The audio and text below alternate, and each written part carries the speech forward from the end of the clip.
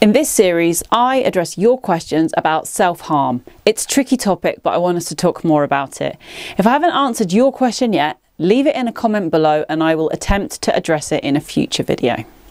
Ellen on Instagram asked, Do self harm urges ever go away? This is a basically impossible question ellen. Thank you. No. But it, it's really going to vary depending on the individual and depending on what the kind of underlying issues are and, and what the driving thoughts feelings experiences are that are driving the self-harm. But what i can tell you for sure is that with practice we can get better at recognizing when we might be getting to a point where we're going to feel the urge to self-harm. So we might be able to manage ourselves and, and, and try and stop ourselves reaching that escalation point. We can get much better better at that. So spotting the early warning signs, taking action earlier.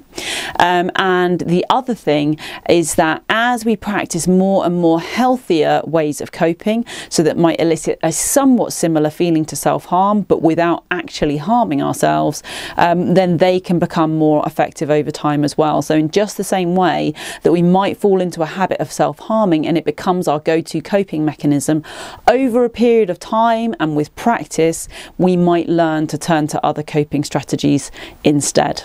So you might if you're someone who struggles with the urge to self harm, it might be something that is perhaps present in your life in some capacity over the longer term, but that doesn't mean to say that you can't live a completely happy, healthy, and fulfilling life. And you can get to the point, certainly, where you're able to notice that thought and go, okay, I am beginning to feel, you know, those kinds of thoughts, those kinds of feelings. That can sometimes lead to me needing to harm myself what am I going to do about that?